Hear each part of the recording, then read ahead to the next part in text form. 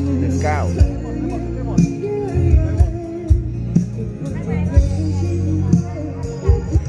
โอ้มีห้องวีส่วนตัวด้วย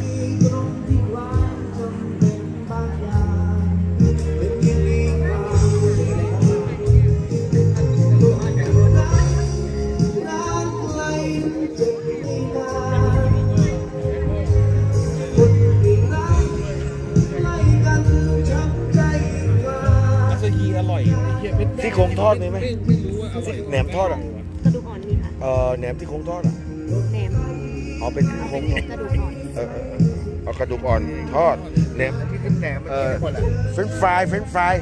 อ่าเฟรนช์ฟรายมะม่วงหิมพานต์เอาแค่นี้ก่อนเอาเป็นยำหรือว่าเป็นทอดคะเออเอาเป็นยำหรือทอดโรอะยเกลือเอาอย่างนี้ดีกว่าโรยเกลือโรยเกลือเกลือแล้วกันเก็บมันป๋าก็ทานข้าวมาแล้วเหรอโอเค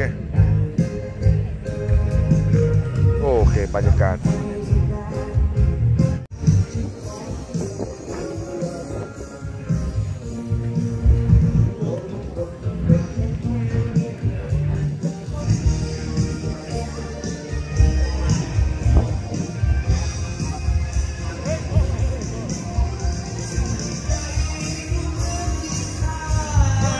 โอ้โห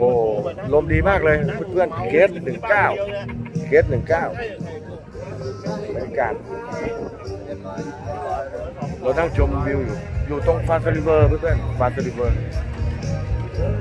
ฟาสลิเวอร์